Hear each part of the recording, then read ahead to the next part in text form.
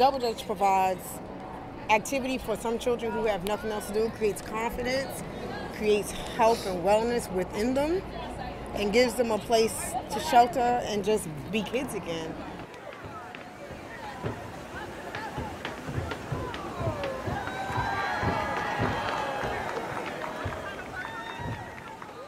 Competitiveness definitely changed the style. Before it was just jumping and everybody has, they come out with their own colors and their own way of doing things.